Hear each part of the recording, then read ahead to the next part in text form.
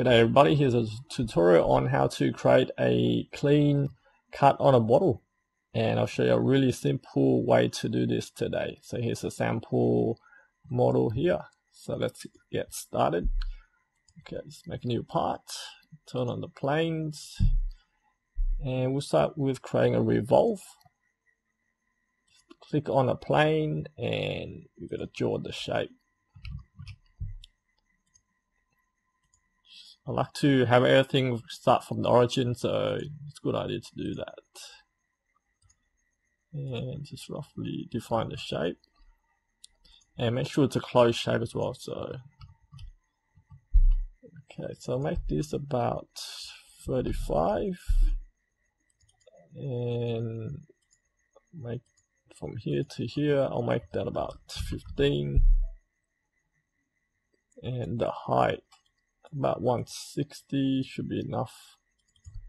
160 and that looks fine. Let's just go ahead and get started. Uh, actually let's go back to the sketch and make sure you draw in a center line.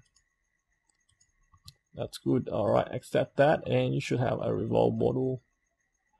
That looks fine. Let's go ahead.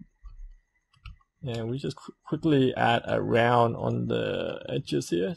Add a large round here. Oh no not that. Right click round edges. That's what you should do.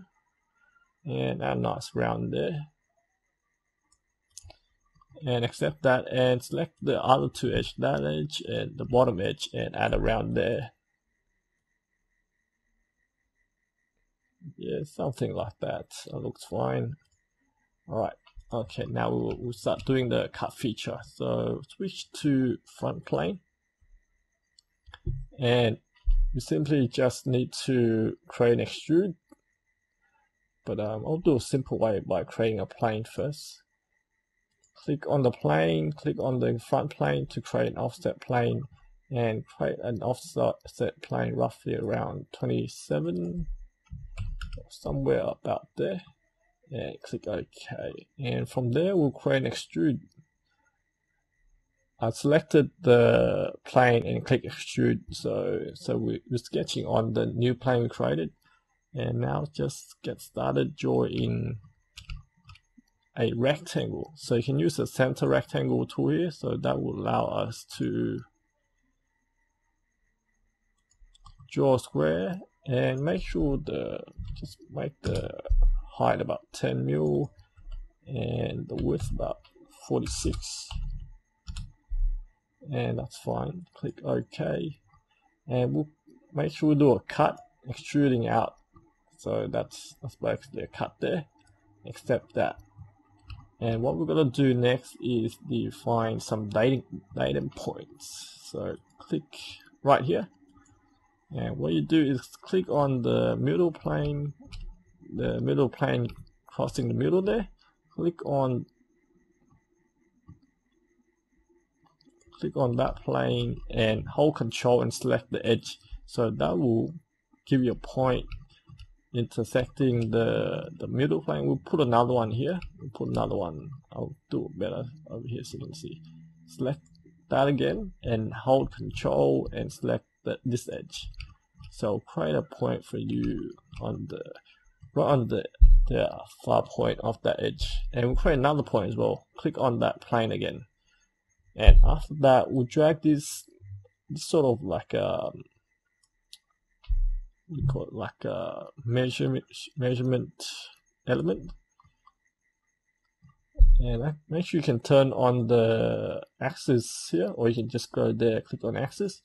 With the axis there we can use the axis to measure. So we can use that little that green point drag it to the axis. So that will allow us to uh, give um, a offset dimension. So I'll make that now go to the left plane.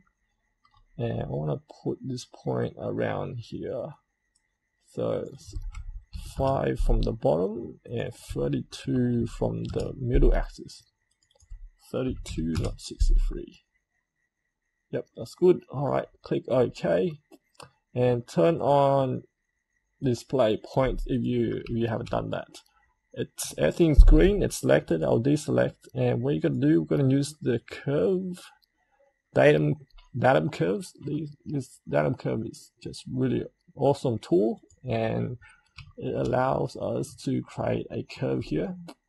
Hold control and select the three points. It, so you can create a datum point. Now what's cool about this curve is we control the tangency. So right click on the point and what you're gonna do, you're gonna select the surface as well. So do that again on this side, right click, switch on curvature continuous and select the surface as well. There you go. So we have a a curve on the edge there. Now we can go ahead and create that blend. Use the boundary blend and hold control and select um, the edge going that direction and the edge going that direction. Sometimes you do this, it only selects half. You gotta hold shift to select both curve, but hold control to select the the different rails. So next, we'll switch on the secondary direction or this button here and select this edge. Hold control, select this edge and select the far edge on the left. And now we have a blend uh, a nice clean blend that's uh, interesting blend for us. So now we just group that together and pan that as well to make it look like a nice bottle. So select, hold control, select all of that. We'll group that together and click on pan and we'll do a direction pan and we're gonna use the top reference and I'll do a four four repeat pan and I'll create a spacing of 15 and accept and it's pan across for us. And next I'll do a mirror as well. So I select all the pan there click mirror and mirror across the front plane. Accept and we have a feature on both sides. So I'll turn off all these items so we can see that better and now I'll apply a rendering color. I'll show, show you a neat trick with applying colors as well. So I'll just select green and I'll select the whole part. Click OK. And one neat trick, trick about with creating color is if you turn on the ambient, it looks nice. So I'll just switch it to a slight tint of yellow so it looks like a lime color and to make your model look flashy just on turn on a bit of ambient and looks nice and doesn't create that dark shade. So so there you go you have our bottle. You can just control select these datum codes and hide them if you don't want to. But there you go you have that's that's the neat trick on creating blends on the bottle. So Hope you enjoyed the video. Let me know if you have any questions. See you later.